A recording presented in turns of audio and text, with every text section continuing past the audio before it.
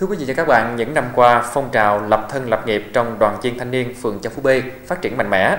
Phong trào này được triển khai sâu rộng, mang lại hiệu quả thiết thực, tạo điều kiện cho đoàn viên thanh niên có điều kiện học tập, phát triển kinh tế. Kính mời quý vị và các bạn cùng theo dõi phóng sự mô hình làm giường kết hợp chăn nuôi của anh Dương Phước Hiền, khóm Châu quế phường Châu Phú B. Anh Dương Phước Hiền, khóm Châu Quế, phường Châu Phú B, khởi nghiệp từ mô hình làm giường kết hợp chăn nuôi, bước đầu đạt hiệu quả. Với tinh thần lập thân lập nghiệp, anh Dương Phước Hiền, khóm Châu Quế, phường Châu Phú B đã mạnh dạn đầu tư, tích cực học hỏi, vượt qua khó khăn, dừng lên làm giàu chính đáng cho bản thân và gia đình. Anh Dương Phước Hiền có nhiều ngành nghề và cũng đi làm nhiều nơi, nhưng thu nhập không ổn định, nên anh quyết định tự thân lập nghiệp bằng cách học hỏi kinh nghiệm, sau đó tự làm giường trồng cây, kết hợp chăn nuôi. Vào năm 2016, anh bắt đầu thuê đất làm giường, thực hiện ước mơ của mình. Ý tưởng khởi nghiệp của anh Hiền đã nhận được sự ủng hộ, động viên nhiệt tình từ phía bạn bè và người thân. Tuy thời gian đầu khi bắt tay vào thực hiện, do chưa có kinh nghiệm và nguồn vốn hạn chế, nhưng được sự hỗ trợ của đoàn thanh niên Châu Phú B tạo điều kiện hỗ trợ cho anh được tiếp cận nguồn vốn dây 40 triệu đồng từ Ngân hàng Chính sách Xã hội thành phố Châu Đốc. Cùng với sự giúp đỡ của gia đình, bạn bè, anh đã thực hiện mô hình trồng giường kết hợp chăn nuôi mang lại hiệu quả kinh tế. Với diện tích đất 1.000 m2, anh trồng 65 gốc cây hạnh, 32 gốc dừa. Phần diện tích còn lại anh trồng sen canh, 15 gốc ổi chanh. Đến nay, vườn cây của anh bắt đầu phát triển tốt và cho thu nhập. Đối với cây hạnh mỗi ngày anh thu hoạch từ 15 đến 20 kg với giá bán 12.000 đồng một ký. Dừa mỗi tháng anh thu hoạch một lần từ 1,5 triệu đồng đến 2 triệu đồng. Cùng với ao hồ nước có sẵn, anh Hiền tận dụng để nuôi dịch. Mỗi lứa anh thả nuôi từ 50 đến 100 con vịt. Bên cạnh đó, để chủ động cho nguồn thức ăn, anh tận dụng thức ăn có sẵn từ phế phẩm nông nghiệp tự chế. Sau 2 tháng nuôi, đàn vịt thịt đầu tiên đã xuất chuồng. Trừ các chi phí, anh thu được lợi nhuận trên 4 triệu đồng.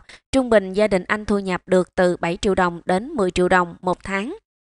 Theo anh Hiền, bí quyết thành công không nằm ở chỗ chọn mô hình hay chọn cách làm mà nằm ở ý chí con người. Từ khi bắt tay làm giường, anh luôn tâm niệm phải tự lập tất cả các khâu, chỉ khi có khó khăn mới nhờ sự giúp đỡ. Khó khăn thất bại cũng là chuyện thường nên con người phải biết vượt qua.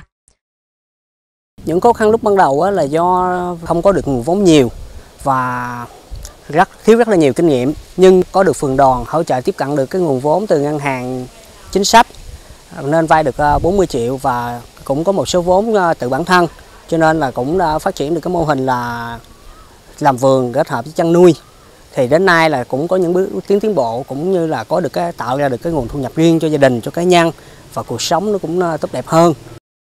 Từ nguồn vốn vay ưu đãi tạo cơ hội giúp đoàn viên thanh niên phát triển sản xuất, từng bước cải thiện kinh tế gia đình, dù khởi nghiệp bằng con đường nào thì quyết tâm vẫn là trên hết.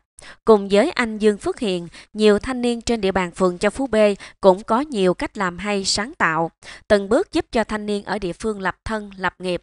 Anh Hiền là một trong những thanh niên trẻ có tính sáng tạo, ham học hỏi, dám nghĩ dám làm và luôn đi đầu trong việc thực hiện mô hình trồng giường kết hợp chăn nuôi đạt hiệu quả.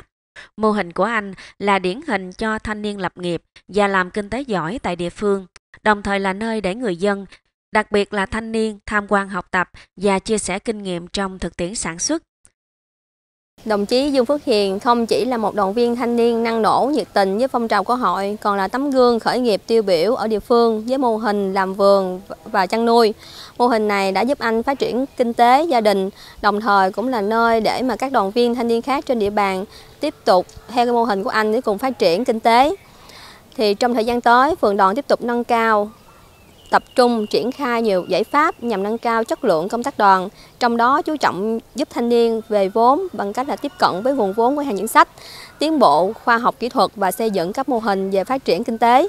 Qua đó khẳng định vai trò của tổ chức đoàn trong đồng hành cùng với thanh niên trên con đường lập thân lập nghiệp, góp phần hoàn thành các mục tiêu phát triển kinh tế xã hội của địa phương. Với kết quả đạt được trong phong trào đồng hành với thanh niên lập thân lập nghiệp, từng bước khích lệ thanh niên trên địa bàn phường dương lên làm giàu, thay đổi cuộc sống, góp phần giảm tỷ lệ thanh niên chưa có việc làm, thanh niên thực sự trở thành lực lượng nòng cốt tham gia phát triển kinh tế, ổn định an ninh trật tự xã hội trên địa bàn.